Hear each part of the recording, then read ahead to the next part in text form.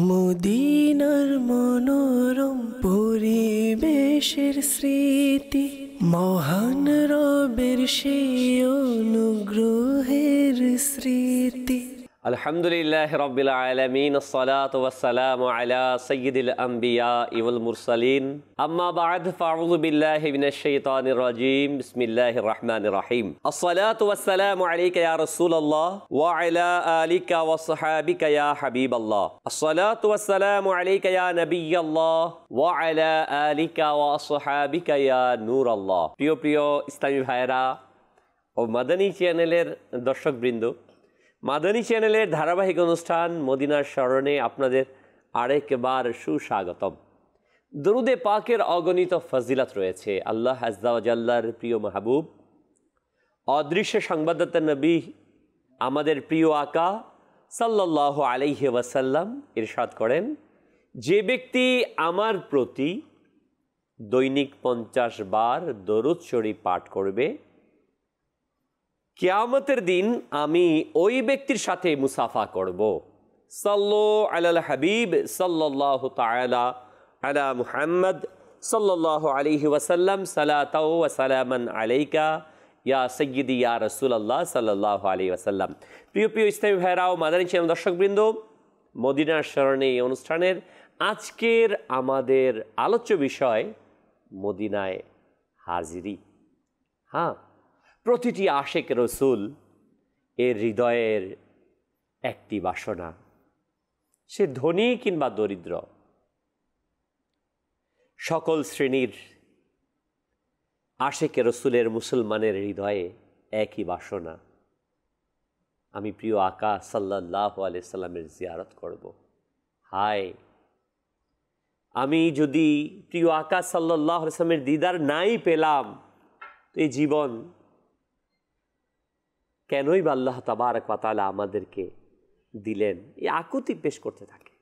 আর সুবাহান আল্লাহ আশিকদের যিনি ইমাম, চতুর্দশ শতাব্দীর যিনি মহান মুজাদ্দিদ, আমার আকা আলা হজরত আজিমুল বারকাত, ইমাম ইশকে মোহাম্মদ শাহ ইমাম আহমদ রেজা আলাই রহমতুর রহমান তো এই হজের মৌসুমে হাজিদিকে লক্ষ্য করে কত সুন্দর ভাবে মদিনা তৈবাকে রওজায় আনোয়ারকে দেখার জন্য আহ্বান করেছেন। হাজিরা, আসো শাহানশার রওজা দেখো।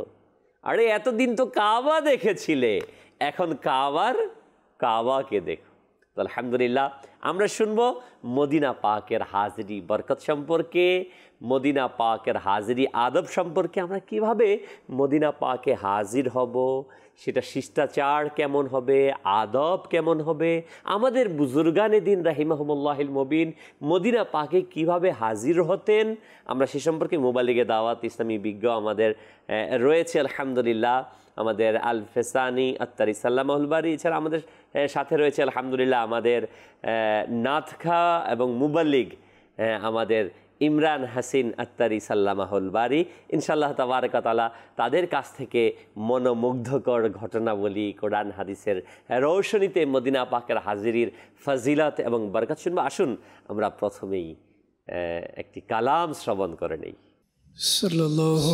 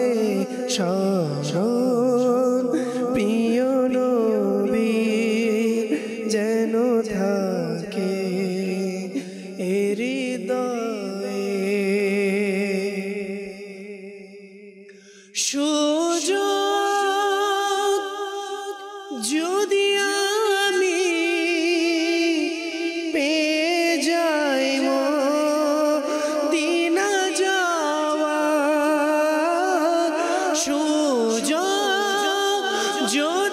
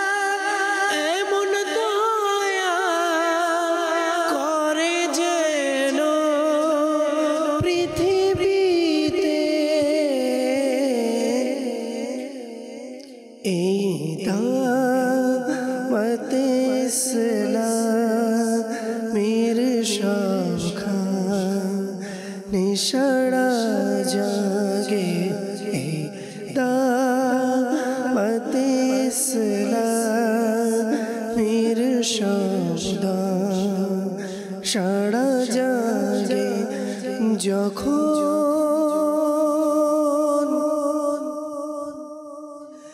জানাজা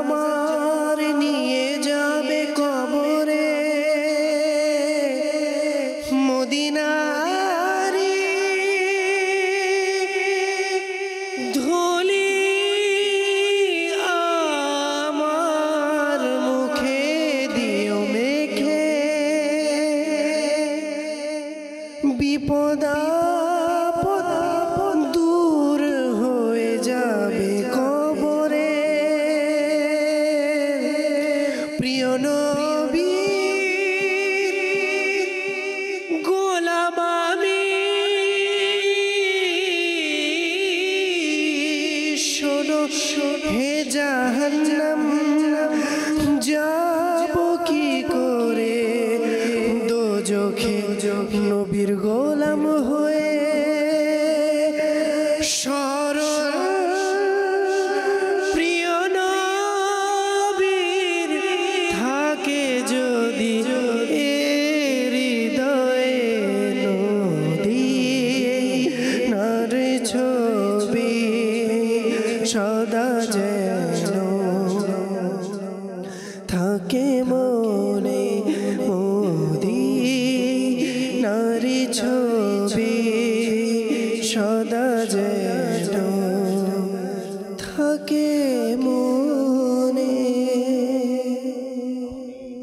তালা আমাদের সকলকে প্রিয় আকা সাল্লাহ আলাইহে ওয়াসাল্লামের পবিত্র রাওজায় আনোয়ারে বা আদব হাজিরি দেওয়ার তৌফিক দান করুক। প্রিয় ইসলামী ভাইরা মাদানশীল দর্শকবৃন্দু প্রতিটি মুসলমান কেনই বা মদিনা পাকে হাজিরি দেওয়ার এই আকাঙ্ক্ষা করবে না? নবী পাকের দরবারে উপস্থিত হওয়ার এই শিষ্টাচার, এই সিস্টেম, এই পদ্ধতি তো আল্লাহ সুবহানাহু ওয়া তাআলা নিজে শিক্ষা দিয়েছেন আল্লাহ তাবারক ওয়া তাআলা কোরআনের সূরা নিসার চৌষট্টি নম্বর আয়াতে এ, আল্লাহ তাবারক ওয়া তাআলা ইরশাদ ফরমান বিসমিল্লাহির রহমানির রহিম ولو أنهم إذ ظلموا أنفسهم جاءوك فاستغفروا الله فاستغفروا الله واستغفر لهم الرسول لوجدوا الله توابا رحيما কানজুল ইমান থেকে অনুবাদ আর যদি কখনো তারা নিজেদের আত্মার প্রতি জুলুম করে তখন হে মাহবুব তারা আপনার দরবারে হাজির হয় অতঃপর আল্লাহর নিকট ক্ষমা প্রার্থনা করে আর রসুল তাদের পক্ষে সুপারিশ করে তবে অবশ্যই আল্লাহকে অত্যন্ত তওবা কবুলকারী দয়ালু আল্লাহ তালার এরশাদে কারিমা। যে আমরা জুলুম করে নবী পাকসামের দরবারে হাজির হই আর আল্লাহর নবী সাল্লাহ আলী ওয়াসাল্লাম যদি আমাদের পক্ষ নিয়ে সুপারিশ করে দেন তো আল্লাহ তালাকে ক্ষমাশীল পাবো আমরা। আল্লাহ তালাই তো আমাদেরকে শিখিয়ে দিয়েছেন সকল কিছু। এই জন্যই তো সাহাবাই কারাম আলী মুরিদওয়ান যখন কোনো গুণা করে ফেলতেন প্রিয় আকাশ আসলামের দরবারে হাজির হয়ে যেতেন। সরকার দোয়ালাম সাল্লাহ আলী ওয়াসাল্লামের জাহিরি ওফাত মুবারকের পরেও সাহাবাই কারাম আলী মুরিদওয়ান তার রওজা মুবারক এসে হাজির হতেন। জি আমরা হ্যাঁ মোবাইল লিগে দাওয়াসামের কাছ থেকে মাদানী ফুল শুনব। জি আলফাস্তানি বাবু। মদিনা শরীফের আলোচনা হতেই সকল আশিকানের রসুল যারা থাকেন। আশিকানের রসুলই বলা হয়। সকল মুসলমান আশিকার আশিকানের রসুল হবে আশিকে রসুল। মুসলমান মমিন মুসলমান বলতেই আশিকে রসুল। যখন যারা কিতাব লিখেন যারা আলোচনা করেন তখন এই আশিকে রসুল অথবা আশিকানের রসুল হিসেবেই সম্বোধন করে থাকেন। জি। মদিনার দিকির মদিনার স্মরণ মদিনার আলোচনা মদিনা শরীফের এই আলোচনা করার সময় আশিকানের রসুল মদিনার আশিকদের মন আপনার খুশিতে উদ্বলিত হয়ে যায়। জি। দেখবেন যখনই মদিনা শরীফের আলোচনা হয় হয়তো তাদের মুখে মুচকি হাসি হবে আর নয়তো মুচকি হাসির সাথে চোখের কোনায় পানিও চলে আসবে। অস্ত্রসিক্ত নয়ন হয়ে যায়। এটা তো একটা ভালোবাসার জিনিস কারণ মদিনা এক আশিক রসুল বলেছে না এই মদিনা যখন বলা হয় দুইটা ঠোঁট লেগে যায়। ভালোবাসার খুশির পরিবেশ সৃষ্টি হয়ে যায়। কারও কারও চোখ মদিনার স্মরণ অশ্রু- অশ্রুসিক্ত হয়ে যায়। নবী পাক সাল্লাল্লাহু তাআলা আলী ওসাল্লাম এর প্রেমিকগণ এবং যারা আশিক হয়ে থাকেন আশিক এবং মশুক এর অনেকটা ই থাকে যে যখন মদিনা শরীফ থেকে বিচ্ছেদ হয়, চলে আসে অথবা ই হয়, তখন এই বিচ্ছেদে ছটফট করে। আগ্রহের অতিশর্যে মুখে আপনা আপনাই মদিনা মদিনা আপনার বিড়বিড় করতে থাকে। তো মদিনা শরীফের মহত্ব, ফজিলত, তার যে শান ও শওকাত, এটা এই বিষয় থেকে অনুমান করা যায়। যেমন কেউ যদি বলে, এক কথায় প্রকাশ করুন, প্রবাদ বাক্য, এক কথায় পর- প্রকাশ করতে কেউ যদি বলে যে মদিনা শরীফ ফজিলত কি? তখন এই মদিনা শরীফ ফজিলত এক কথায় কেউ যদি প্রকাশ করতে চায়, তাহলে বলতে, বলা যায় যে প্রিয় আকা মাদানী ওয়ালে মুস্তফা, হুজুরপুর নূর, আল্লাহ পাকের শেষ নবী সাল্লাহ আলী কে আমরা অত্যাধিক ভালোবাসি।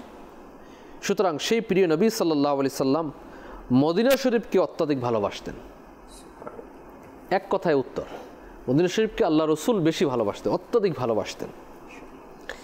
স্বয়ং সেই প্রিয় আকাশ সাল্লাহ আলি সাল্লাম মদিনা শরীফকে অত্যাধিক ভালোবাসতেন। সুতরাং রসুলের ভালোবাসার দাবি এটাই হলো যে আমরা শুধু প্রিয় মদিনার ভালোবাসা নয় বরং এর ফুল কেউ ভালোবাসবো প্রতিটি এর কাটাকেও ভালোবাসবো। আপনার তারপরে সেখানকার অলি গলিকে ভালোবাসবো সেখানকার বাজারকে ভালোবাসবো সেখানকার বাগানকে ভালোবাসবো সেখানকার মরুভূমিকে আমরা ভালোবাসবো সেখানকে বস্তুকে ভালোবাসবো। জি সেখানে প্রত্যেকটা বস্তুর আদব রয়েছে। আদব আসব আপনার কাছে মাদানী চ্যানেল দর্শকবৃন্দ আহ, আমরা হ্যাঁ, আপনাদের সাথে নিয়ে এই অনুষ্ঠান করছি। জি ইমরান মাদানী। জি আলহামদুলিল্লাহ মদিনা শরীফের হাজিরি দেওয়ার বিষয়ে আমরা শুনছিলাম। আল্লাহ রসুল যখন মদিনা শরীফে গেলেন সেখানে অবস্থান শুরু করলেন। সাহাবাই রাম আলিহিমুর রিদওয়ান যেভাবে নবী করিম সাল্লাহ তালা আলিহি আলিহি ওয়াসাল্লামের দরবারে উপস্থিত হতেন বিভিন্ন কারণে এমনকি যে কোনো বিষয়ে প্রত্যেকটি কাজে প্রত্যেকটি পরামর্শে অর্থাৎ আমরা যদি সেটাকে বুঝাতে চাই তাহলে এক কথায় একটি গাছের পাতা নড়ার বিষয়েও নবী পাক সাল্লাহ তালা আলী বা আলী ওয়াসাল্লামের শরণাপন্ন হতেন সাবেকরাম। এত তারা নবী করিম জেনে জেনে করতেন জিজ্ঞাসা করে করতেন। জিজ্ঞাসা করেই করতেন এবং নবী পাক সাল্লাহ তালা আলিহি ওয়া আলিহি ওয়াসাল্লামের মহান দরবারে জিজ্ঞাসাবোধকে, তার দরবারে উপস্থিত হওয়াকে নবী পাক সাল্লাহ তালা আলি ওয়া আলিহি ওয়াসাল্লামের দরবারে প্রশ্ন করা, উত্তর পাওয়া, নবী পাক সাল্লাহ আলি সাল্লামের জিয়ারত করা, তার জুবান মোবারক থেকে শব্দ শ্রবণ করাকে তারা অত্যন্ত ভালোবাসতেন। এবং অনেক সাহাবায়ক রাম আলিহিমুর রিদওয়ানের ঘটনার মধ্যে আমরা পাই বারবার নবী পাক সাল্লাহ সাল্লামের কাছে যেতেন বিভিন্ন বিষয় জিজ্ঞেস করতেন জিজ্ঞেস অন্য সাহাবায়করাম জিজ্ঞেস করলেন কারণ কি? যে শুধুমাত্র নবী পাক সাল্লাহ সাল্লামের জিয়ারত করা আমার উদ্দেশ্য। এই কারণে আমি বারবার উপস্থিত হই বারবার বিভিন্ন বিষয় জিজ্ঞেস করি যাতে আমি বারবার আসতে পারি। এ হচ্ছে নবী পাক সাল্লাহ তালা আলী বা আলী ওয়াসাল্লাম যখন জাহিরি হায়াতে মুবারকে ছিলেন। আর জাহিরি ওয়াফাতের পরেও আমরা কি নবী পাক সাল্লাহ তালা আলী বা আলী ওয়াসাল্লামের দরবারে উপস্থিত হব না? অবশ্যই হতে হবে। কারণ এ বিষয়ে আমরা অবশ্য অনেক বিভিন্ন হাদিসে কারিমা পাই। আর যেহেতু মদিনা শরীফের হাজিরির বিষয় আমরা আজকের আমাদের আলোচ্য বিষয় তো সেক্ষেত্রে নবী পাক সাল্লাহ তালা আলিহি ওয়া আলিহি ওয়াসাল্লাম কত সুন্দরভাবে হাদিসে কারিমার মধ্যে বলেছেন যে আমার জাহিরি ওয়াফাতের পর হজ করে অতপর আমার কবরের জিয়ারত করে মূলত সে আমার জাহিরি হায়াতেই আমার জিয়ারত করল। এই হাদিসে কারিমার মধ্যে আমরা সুস্পষ্টভাবে বুঝলাম যে নবী পাক সাল্লাহ তালা আলিহি ওয়া আলিহি ওয়াসাল্লাম জাহিরি হায়াতে মুবারকে যে যখন ছিলেন সাবেক রাম আলিহিমুর রিদওয়ান যখন তার দরবারে উপস্থিত হতেন নবী পাক সাল্লাহ তালা আলী ওয়া আলী ওয়াসাল্লাম দরবার থেকে যে ফয়জ বরকত অর্জন করতেন তা নবী পাক সাল্লাহ তালা আলী আলী ওসাল্লাম এর জাহিরি ওয়াফাতের পরও ঠিক সেভাবেই রেখে দিয়েছেন। এবং সেই হাদিসে কারিমা এই হাদিসে কামরে আমরা বুঝতে পারলাম যে ওয়াফাতের পরেও যদি আমরা জিয়ারতে রওজায় রসুলে যাই তাহলে ঠিক যেভাবে সাহাবায়ক রাম আলিহিমুর রিদওয়ান নবী করিম সাল্লাহ সাল্লামকে জাহিরিভাবে জিয়ারত করেছেন, আমরাও তার মধ্যে অন্তর্ভুক্ত হয়ে যাব। সুবহানাল্লাহ প্রিয় ইসলামী ভাইরা মাদানী চ্যানেল দর্শক বিন্দু, এর চেয়ে আর বড় সৌভাগ্য কি হতে পারে? হাজি সাহেবদের। যে আমার প্রিয় আকা মাদানী মুস্তফা সাল্লাল্লাহু আলাইহি ওয়াসাল্লাম, এর দরবারে হাজির হচ্ছে, আর প্রিয় আকা সাল্লাম এরশাদ করে দিয়েছে যে আমার উন্মতি আসবে জিয়ারত করবে সেজন্য আমার জাহিরি প্রকাশ্য হায়াতে জিয়ারত করে নিল। সুরা নিসা আয়াত নাম্বার সিক্সটি ফোর জি। এর আলোকে একটা মানে মনোমুগ্ধকর ঘটনা। জি। আপনার সৈয়দুনা মোহাম্মদ বিন হার্ব হিলালি রহমতুল্লাহ আলী বর্ণনা করেন যে একবার আমি রসুল পাক সাল্লাহ ইসলামের রজায় উপস্থিত হলাম।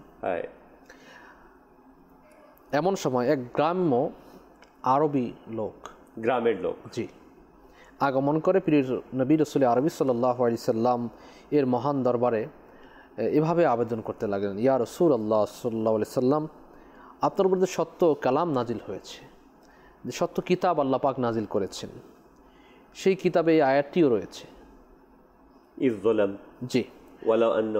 জি ওয়ালাবান্নাহুম ইদালামু আনফুসাহুম যা উকা এই যে আয়াতি কারিমা। কাঞ্জুল ইমানের অনুবাদ এবং যদি কখনো তারা নিজেদের আত্মার প্রতি জুলুম করে তখন হে মাহবুব তারা আপনার দরবারে হাজির হয় এবং অতবার আল্লাহর নিকট ক্ষমা প্রার্থনা করে। আর রসুল তাদের পক্ষে সুপারিশ করেন। তবে অবশ্যই আল্লাহকে অত্যন্ত তওবা কবুলকারী দয়ালু পাবে। তো ওই গ্রাম্য আরবি ব্যক্তি এই আয়তে কারিমার দিকে ইঙ্গিত করে রসুল পাক সাল্লাহ ইসলাম ইস্তেকাসে পেশ করলেন তার দরবারে আরজ করলেন ইয়া রসুল আল্লাহ হে আমার আকা ও মৌলা আমি আমি ক্ষমাশীল আল্লাহ পাকের দরবার থেকে আমার গুণাসমূহ ক্ষমা করিয়ে নেওয়ার জন্য আপনার দরবারে এসে আর আপনাকে আল্লাহ পাকের দরবারে আমার জন্য সুপারিশকারী বানাচ্ছি।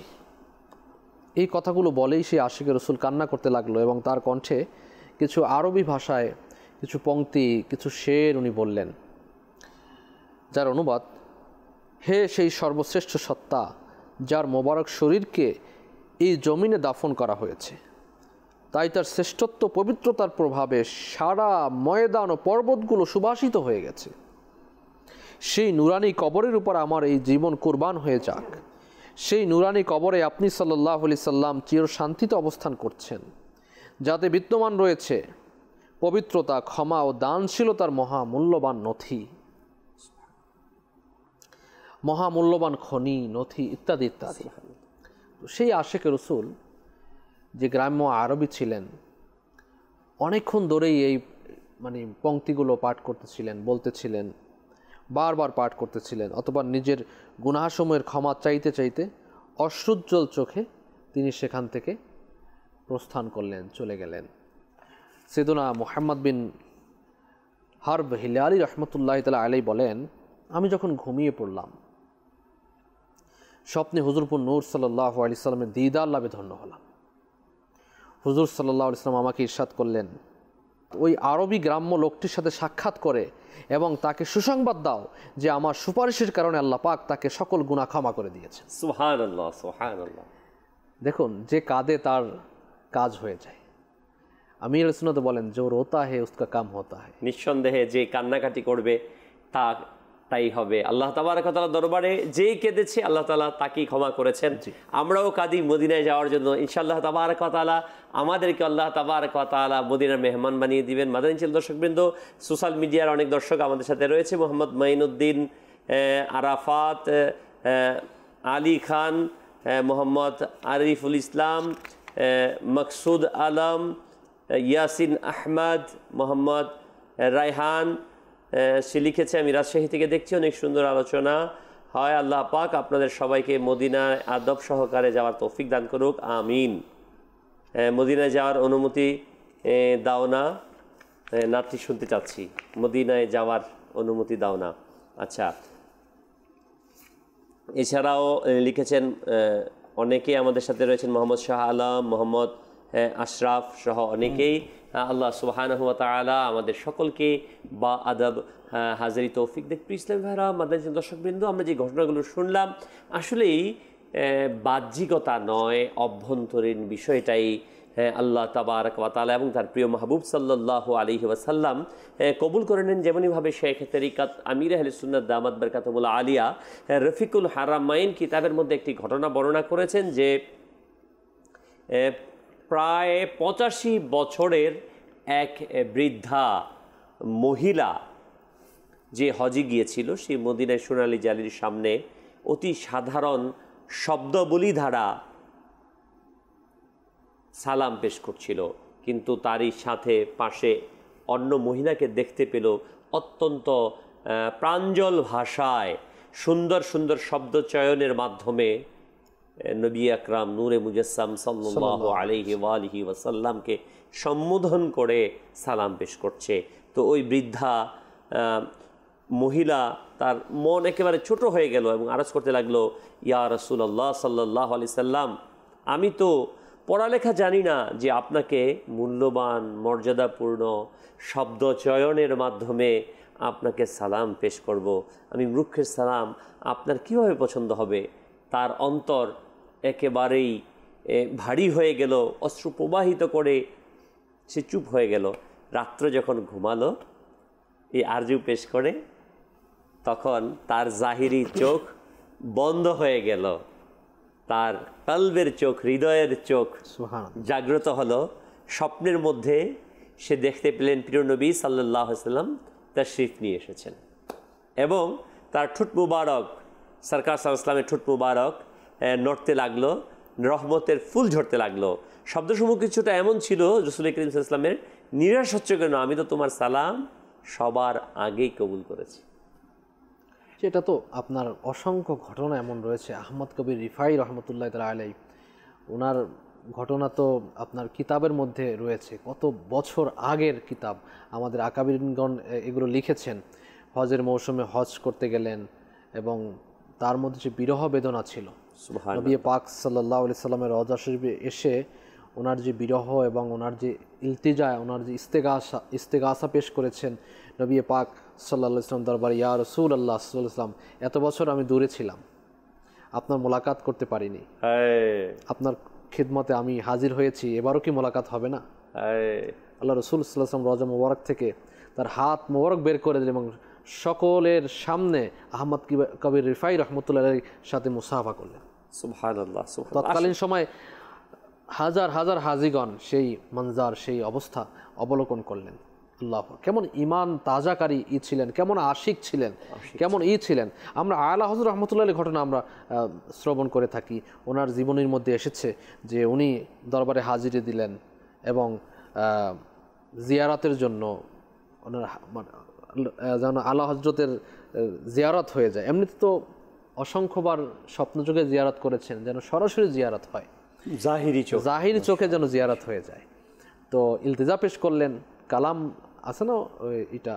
ও সুয়েলা সুয়েলা আল। আজার হ্যাঁ আল্লাহ হজরত লিখেছেন কালাম ওখানে পড়ছিলেন। এবং ওখানে কি আল্লাহ রসুল সাল্লামের জাহিরিভাবে আল্লাহ হজরত জিয়ারত হয়েছিল। সুবহান আল্লাহ সুবহান। ও সুয়েলা लजार फिरते हैं ओ सुएला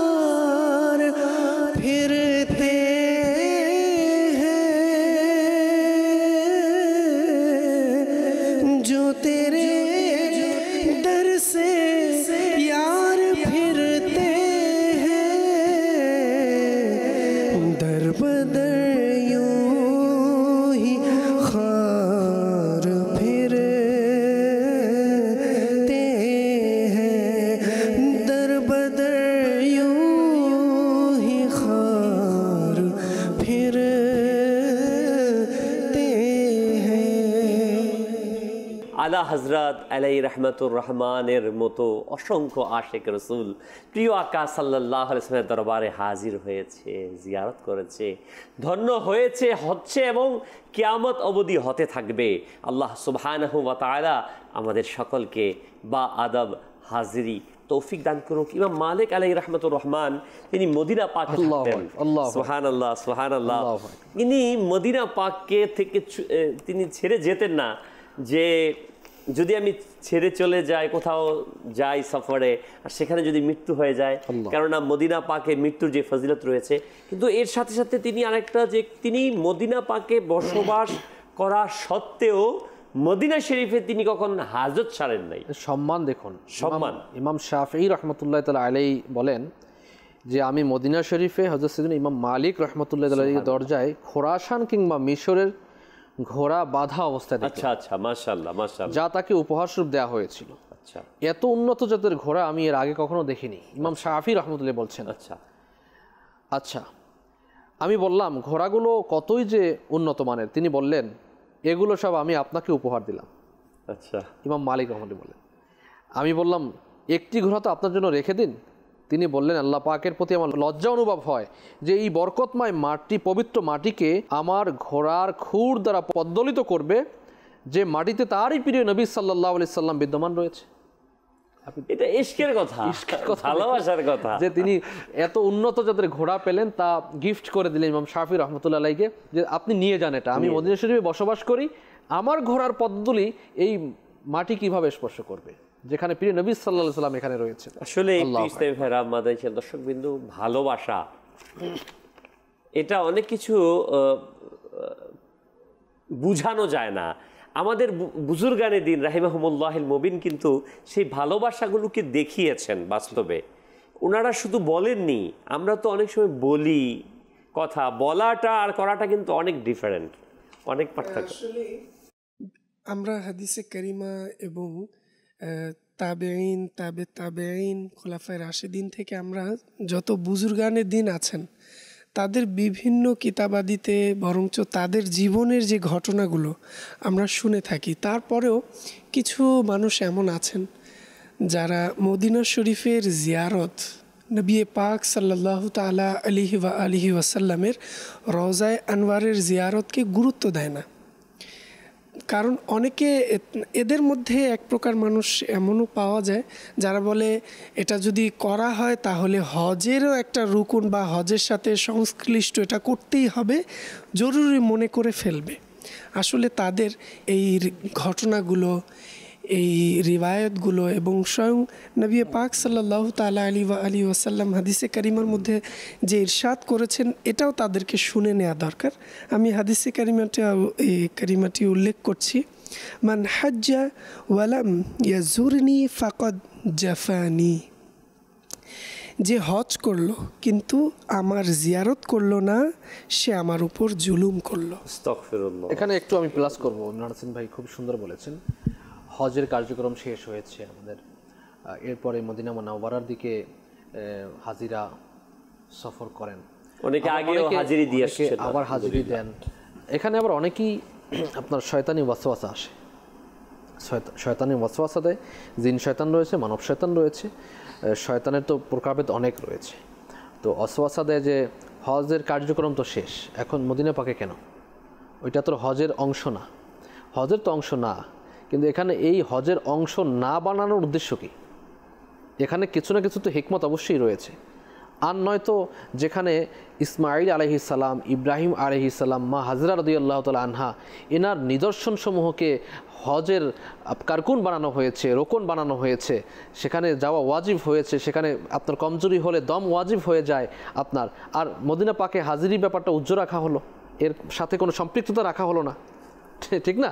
তো এখানে ইমানের একটা ব্যাপার এখানে দেখা যায় যে আপনার ইমান কত হ্যাঁ পরীক্ষা। ইমান আপনার কতটা কতটুকু ই রয়েছে। নবী পাক সাল্লাহ সাল্লামের ভালোবাসা আপনার মধ্যে কতটুকু রয়েছে? আবার অনেকে এই হাদিসে পাকের বলে এটা জাল হাদিস এই হাদিস হাদিসের প্রকারভেদ তো আমাকে জানতে হবে।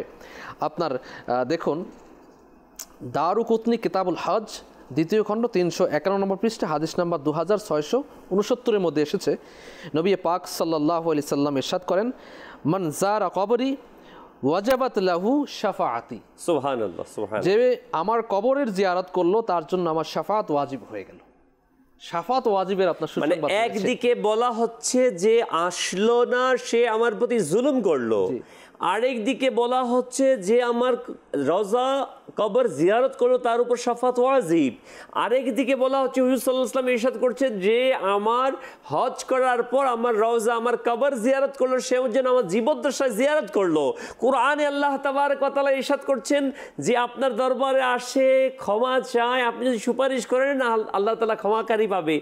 এর চেয়েতে মানে আর কি থাকার প্রয়োজন? জহির ভাই আমির দামাত বরকাতুন আলিয়া, যখন পবিত্র হজ ব্রত পালন করতে যান তখন শুরুতে মদিনা মনোয়ারাতে যান। তো আমি এখানে একটা হিকমত রিসার্চ করেছি।